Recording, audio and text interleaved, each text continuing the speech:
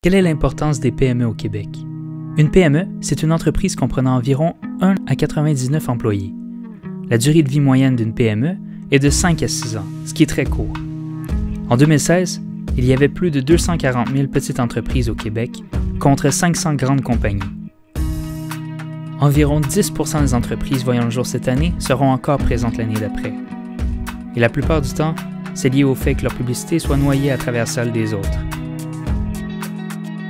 Avec InShake, nous faciliterons ces deux options en vous proposant un outil permettant d'accomplir la tâche à votre place. L'outil principal est une carte interactive où les utilisateurs pourront voir quels commerces sont dans leur entourage et encourager le commerce local.